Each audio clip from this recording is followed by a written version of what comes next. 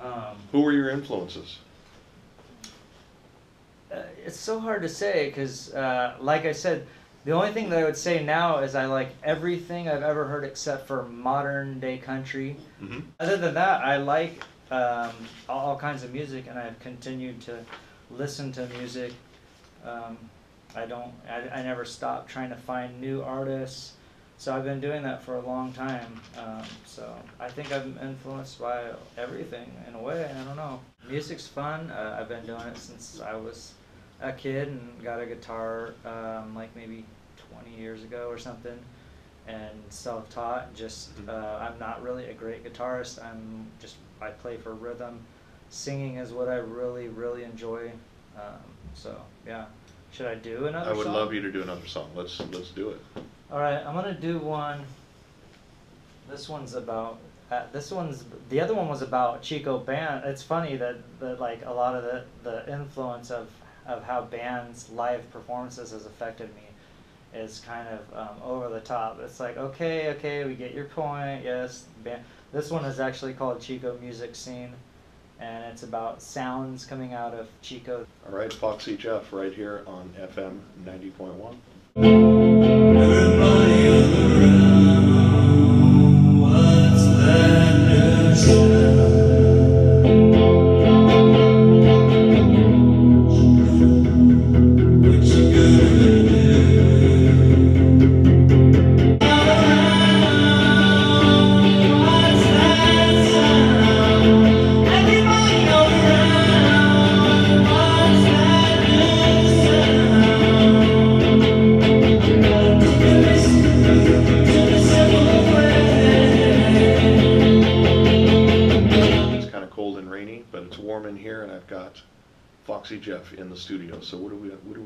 are gonna hear next? Well, first of all, I wanted to give a shout out to my niece who turned 18 today. She's coming to Chico from Gridley, and uh, we're going to be hanging out after this. Uh, so, Do you think out she's her. listening? Um, I'm not sure, but there's an archive that I can Mhm. post later. Okay. Anybody Um, else you want to say hi to out there that could be listening online? Oh, or man, everybody. Uh, we got to give Julian some support today too. Come man. out to the Maltese today. Jimmy Reno uh, is going to be playing um, along with Es. Well, no, Esco Chris um, actually had to cancel, but um, we have Lucky Luke, aka Filthy Luke, and um, Nothing Left, as well as. Uh, it's going to be a great show.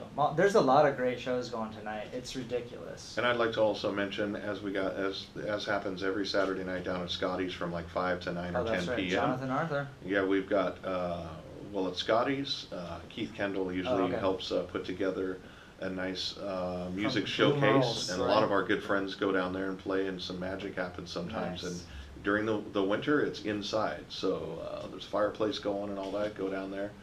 Got good food and drinks, and uh, also, as we mentioned, Jonathan.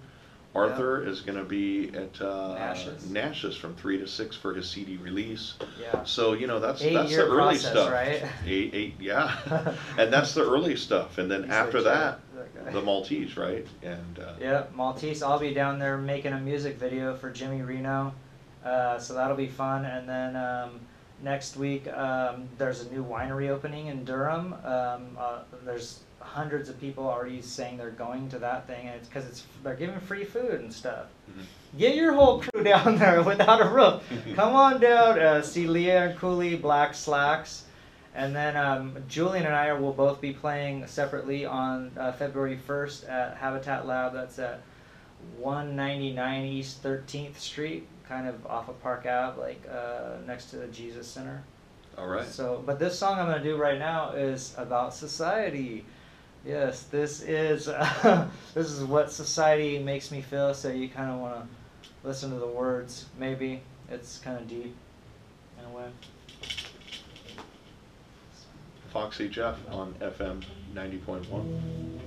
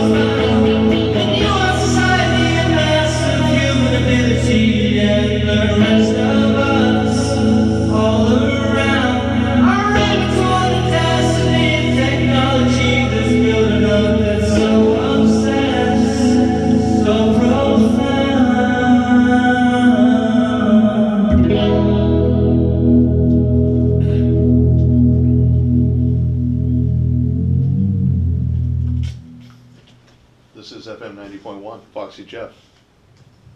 Great stuff, man. Thank you. It's pretty simple, but I like simple music. Um, when I was a kid, I had a little keyboard that you just basically would push a button, and it would do a whole rhythm itself. You know, I'm making it, and then you can go up and out, and then down. And I love that. And that music was the best stuff I ever made on uh, cassette tapes. And um, and so I like really simple. I like when it's there's just you know three or So- four chords. So Get Foxy Productions was. Uh, I was filming a lot. I think after the aneurysm, I started filming things that I thought were fun, so that I can remember them because my memory was like pretty bad. So I would just start, you know, filming family stuff, just like camping and anything that family would do for fun. I got really, like, kind of obtrusive about it, and and through maybe uh, about two or three years, filming became so normal to me that I don't even notice it. Like people continually have to surprise me with the fact that uh, I don't want to be filmed. I, I, I just it doesn't because I've been filming so much and and have terabytes and terabytes worth of video that I haven't even seen yet. I haven't even really grasped the concept that people don't want to be filmed. I can understand it though because I don't even want to be filmed. Yeah. If you go to get Foxy Productions, you'll rarely see me on there because every time I see myself on there, I'm like, I look like a total idiot.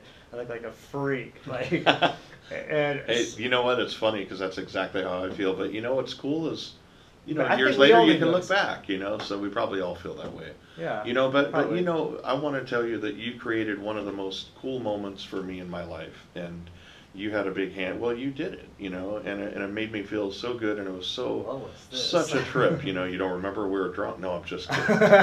So you used a clip of me. You came down and used a clip of, of me in this show, like for your film. Yeah. And it was so weird for me, and it was so cool at the same time. And really, it's not like a you know, but it was You a might big not deal have for seen me. that before, but you, yeah, you were at the But I- pageant. I, where- got to go to the pageant theater, stand in line, Saw buy a yourself on the ticket, and go sit screen. down, and and you know, I wanted to go cringe when I saw myself, but at the same time, it was like, wow, this is really cool, you know. Yeah. So I got to watch, you know, and not like, oh, I want and to. so many people but got to it see was you. such a nice thing, and I got to see all my friends, you know, in Yeah. there. A lot of those people were my friends. Yeah. And it was such a cool thing. So Yeah. I appreciate, you know, that was, you know, kind of one of those surreal moments. Yeah, And, I really feel it's important to collaborate with other people. Uh, we can't really do really. I mean, we can do great things on our own, but we can do even better things with with the larger the group that we get involved. And so it's like Julian, uh, the the whole crew that we have. Um, I'm not. I'm not really like a, a salesy person. I'm not a business person at all. Um, I actually hate money, but it's necessity. Yeah. But people I'm collaborating with do understand all that, and, and that is, and reality is important to them, and I need that. In this community, there's a lot of uh, support with musicians, with each other, and Yeah. we all have our, you know, issues here and there, but, you That's know, yeah, that's really part- important. Is Chico? I've been really thinking about that a lot. Is the different dynamic that Chico is compared to other places? It's like people stay here for quality of life that could actually move on and do big things if they wanted in like L.A. or the Bay Area even, but they stay here because um, they're not really trying to get big and famous and rich and all that. Uh, so it's a better quality of life. We're more like a family here in Chico in a way. We're, we're big enough to not really be a family, but small enough to kind of, yeah, um, be able to know a lot of people and all that. I love it that there's uh, enough people that we can do this show, and I can still have people on here that I've never met. You know, Yeah, or that's true. people like you that I've met, but we've never gotten to spotlight Yeah, you. I have a lot of So- acquaint- acquaintances, but not that many friends actually. I have hundreds of acquaintances. Yeah. Well, would you like to do a song? This is we yes, got Foxy Jeff. I in the always studio. want to do a song. That's the only thing that I actually enjoy doing. Well, we've got about a half hour left. You're listening to FM 90.1 KZFR Chico. My name is Brad Peterson. It's about 2.30. I have Foxy Jeff in the studio, and Studio 416 is made possible by the generous contributions of KZFR members and by Satava Art Glass Studio. This next one I do though, I actually wrote half of it when I was ten, and uh, the other half when I was like twenty. Mm-hmm. So yeah, I, I, and and I just haven't really used the lyrics. I wrote more songs than I actually made through my life. Um, so I still have tons and tons, dozens and dozens of songs that I haven't made into a song yet. They're just the words. Mm-hmm. Um, and they're the lyrics are not normal, really. I, I, I actually I could get into being influenced by the band Ween, and um, a kind of almost weird, funny, but still deep kind of music. Mm-hmm. Um, So is that kind of what, would would that describe the stuff that, that you like growing up, like, like Ween and those albums, like Wilco and I and think groups like yeah, that? I think or- mostly or- I've liked. Um, it seems like punk rock has been the main theme through my Mhm. life, and the, actually like hardcore punk, like Minor Threat, The Exploited, um, stuff like that. Uh, Black Flag, early Black Flag and stuff. Uh, it seems like punk rock has really been fun for me, but um, not a huge pop fan, but I have gotten into pop. Um, I, I don't know. Seems Mhm. like I, I like all music. Well, the thing that I like about your voice is um, you can hit those high notes, and uh, Oh, I can get really high. Yeah. It scares me because I didn't used to be able to do that when I was younger. Mhm. When my when I was a teenager, I could never hit high notes, and it hurt my throat. And I don't know if it's because I've tried over and over despite not being able to, but now I can get really high. Um, I do some covers, um, a Runaway, um, some ones that get really high, and um, yeah. I'd love to hear some of those sometime. Yeah, I could get deep too, though. Like I, I, that's the thing I used to tell my band is like I'm all, uh, I'm not really impressed by how I sing or anything. The only thing that impresses me that I can do is if I can go as low as I can go or as high as I can go. It always impresses me. like I'm like, cause I'm in my mind. All of a sudden, I, I, the art ends, and I'm just like. Wow, that's high. Like, how am I doing that? Mhm. the reality of it hits me. It's like, what? It's Well, let's let's hear another one then. And and hey, you want to mention our, our guest that's hanging out with us here? Oh, yeah, studio? that's- our buddy. I know we haven't even mentioned it. Uh, I've been watching this guy all the whole time here. Guillermo Mash, aka well, Guillermo is what he goes by. Without a roof, sometimes what they call him. I first met him at the first World Record event, which we're doing again. Um, you know, as you know, down low Yes. is uh, with Julian and I play in Chico. But Guillermo was the witness there. He, they called the, him the superstar because he was always there, um, not only being a witness, uh, official witness, but also like A taking- Jehovah's Witness too, right? I'm Just kidding. Oh, I have no idea. uh, but he takes a lot of pictures and does graphic design and um, Mhm. and and and the, the but the main thing about him that's awesome is that he's an advocate for um, homelessness in Mhm. Chico. So um, you watch his Without a Roof um, series on YouTube, and he goes around. And there's a lot of homeless musicians, so you get a lot of music and just their insight about the things, which Didn't, is, didn't, no didn't one of our local, uh, he was, he was, it was in Chico News and Review, he was a homeless guy, an, an American Indian guy. Um, Clem. Yeah, passed away Clem. recently. Clem. No, no, no, no, no, he didn't pass away, he just got housed, Dakota. Dakota passed Yeah. away. Oh, right? Dakota down there. Did by you the- know him? Yeah. Train I knew him, yeah, I didn't know him real well, but I knew him. And so also, uh, Peace and Social Justice, right? That's your show? I do that show, yeah. Or that you're, yeah, you're involved in that? I'm just a witness. I, my laptop was broken, so I happened to be here, and I'm like, I want to see And I've this, been on man. your show, and you've had live music on your show love as that. well. Yeah. I love live music. Yeah, he So does. Thank you, Foxy Jeff. He's a big fan of local art, and he Well, goes to the shows. Out- yeah. He's out there and at night. Um, Well, it's great to have you hanging out in the studio with us today. Thanks for having and, me. Uh, we got Foxy Jeff. This is FM 90.1 We KZFR. Chico, and we're filming this. And uh, so yeah, maybe you'll post this later. And I'd love to hear another it. song if you're ready. I will not post myself. no, I will when I get old. We'll talk uh, Marina into talking you into it. How's that? Sure. Okay, th- so this is the song I mentioned that I, I wrote half of it when I was 10. Well, maybe not half, maybe like a quarter of it when I was 10. And then um, I actually, it was a rap when I was 10, um, the first part of it. The second part I wrote, um, and they're lyrics that I always really liked, but I never really made it into a song. So I'm kind of just doing that now. This is the first time that is going to occur. Um, it's really simple, but the lyrics are hilarious in a way and kind of controversial at times. But it's called Drink Some Wine.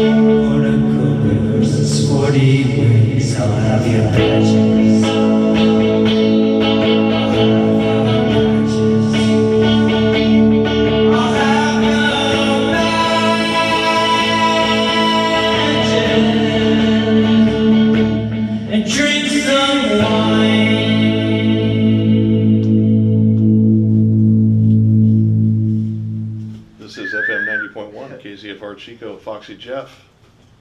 It's a short Good stuff, man. song. Yeah, I um, was, I was hoping it would go on a while What- longer, but what you know makes what? me laugh about it is that uh, I was ki- a kid when I wrote. it. I was ten. The first part about the wine. That's what's hilarious. I actually wrote this as a ten-year-old. I said um, later that night I was running real late. I turned on the TV and got ready for my date. I picked her up about a quarter to nine. I said, "Let's chill out and drink some wine." and you wrote that I when you were 10? ten years old. And your mother I- heard you writing that? You I, wrote, I don't think she's ever heard it. I had no idea. I what, what I mean. I dating and I just I just thought it sounded cool. It's hilarious. That's great, man. That's good stuff. You know, I, I could hear like hit potential with some of that stuff. It it yeah, reminds me of multiple different, you know, genres and songs that I heard growing up too as well. I look like everybody with glasses. So depending on how old the person is, people come up to me wherever Chico State. Buddy down- Holly. Yeah, they're like, you know, you look exactly like, and I'm like, well, depending on your age, it's either Buddy Holly, the dude from Weezer, Elvis Costello, Exactly. or Isn't that anybody funny? in glass. Just because of the glasses. Yeah, if I take off these glasses, cover the um, Okay. is is really a little more complicated. Everything I've done so far, my own stuff is really simple. I think because I'm really um, um, singer oriented, but also lyric oriented, and I don't really pay that much attention about the chords and things like that. Because I mean, I like the Ramones a lot, and they only have three chords most of their songs. So, but this uh, changes it up a little bit and has different um, dynamics. So I'm gonna go ahead and play this song. I forgot what, which one I'm playing, but I'm gonna play it. Foxy Jeff on FM 90.1 KZFR Chico. Next up, we got Peter Ratner with Not Necessarily Nashville taking you up to 5 o'clock. Can I do that? Go for it. This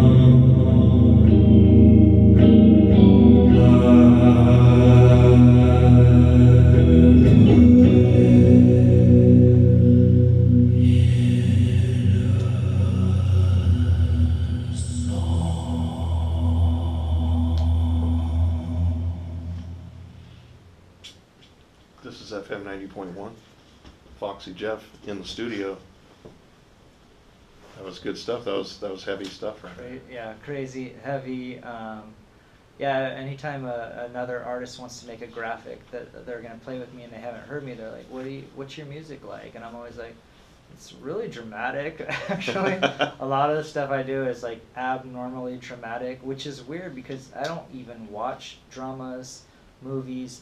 I'm not dramatic at all in any way, but my music is like some. That's what I really feel good about doing. Do you ever use your own music for uh, background music for your films? Yeah, I actually have. Um, I use some of the old stuff that I made. It's just really simple. I could see you down the road too, being more being a producer as well. You know, of other artists. You know. Yeah.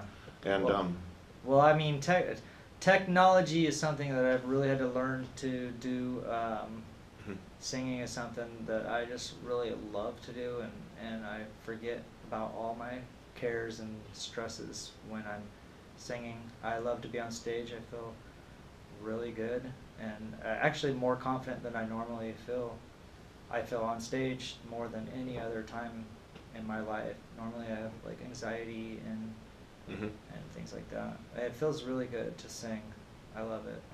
Well, that's great. I want to thank you. We have only just like two minutes left, and then Okay. we've, uh, Peter Ratner is getting ready to uh, bring you, Yeah. not necessarily Nashville. And I want to thank you so much for being on the show. Uh, thank you for everything you do for our community. And is there any last thoughts you have, or anybody you want to say uh, anything to? Or I want to thank you, Brad, uh, for inviting me on the show, and all you've done um, locally, um, connecting. Also, one of the top contributors, along with Guillermo, who is. It's becoming more and more important to um, support the scene, and he's not only does he have this thing that's more important than music, in my opinion, which is being an advocate for the more unfortunate people in society, but also he also supports the scene. He's gone to so many of my shows Yeah. and wanted to sit in here. Um, so yeah, just buying a ticket, awesome. buying buying an artist CD at a show, a Yeah. little bit of merch. That's always really a good thing. Just seeing uh, his keep face there, going. shining and smiling. I've seen him at like at least half a dozen of my shows, I think, Yeah. smiling and and that, I like that. That's good. It's Did supporting the you scene. know though that he's legally deaf? Did you know that? No. He's not hearing. a lot. I'm no just wonder kidding. he's just nodding and smiling at the show. Smiling. No. I'm just kidding, William. I know you are. All right, man. Well, I want to thank you for being on the show.